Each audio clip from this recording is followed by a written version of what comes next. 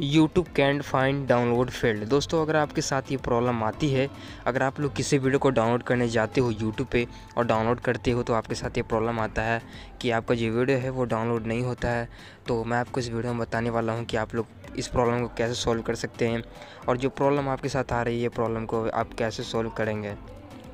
YouTube can't find download field दोस्तों अगर ये प्रॉब्लम आती है। आप लोग यूट्यूब पे अक्सर जाते हो और किसी वीडियो को डाउनलोड कर लेते हो, लेकिन आपके साथ ये प्रॉब्लम आती है कि आपका वीडियो डाउनलोड नहीं होता है।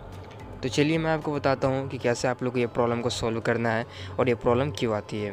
तो दोस्तों, ये प्रॉब्लम आने का कई रीज़न है, हो सकता है। तो चलिए मैं आपको बताता हूँ कि कौन सा रीज़न है और आपको इसे कैसे सॉल्व करना है। तो दोस्तों, पहला रीज़न की बात करें तो दोस्तों, अक्सर आप लोग करते क्या हो कि आप लोग क्या करते हो कि वीडियो को डाउनलोड कर देते हो ऑफलाइन सेव कर देते हो कि मैं जो है वीडियो को देखूँगा अगर मेरा नेट ख़त्म हो जाएगा तो।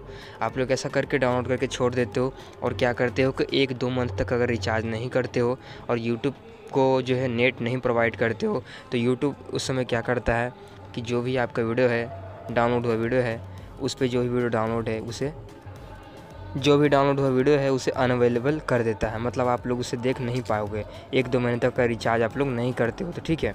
तो ये प्रॉब्लम है। दूसरा रीज़न क्या है दोस्तों? दूसरा रीज़न ध्यान सुनिएगा। आप लोग क्या करते हो कि प्ले स्टोर पर जाते हो और यहाँ से किसी भी पिन को डाउनलोड कर लेते हो और डाउनलोड करने के बाद क्या करते हो आप लोग?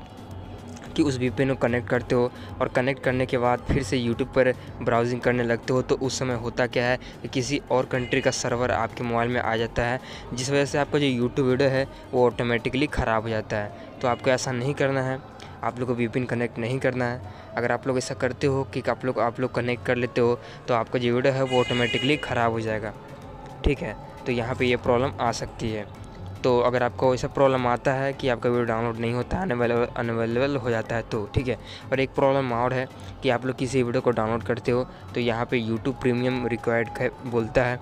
तो इसका मतलब ये होता है दोस्तों कि जो भी म्यूज़िक है, वो पैसे की है।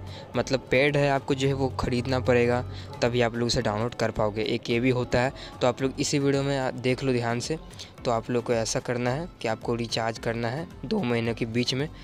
तो तभी आपका जो वीडियो है वो अनअवेलेबल नहीं होगा। तो बस इतना ही वीडियो। में वीडियो अच्छा लगे तो लाइक करें शेयर करें। Bye bye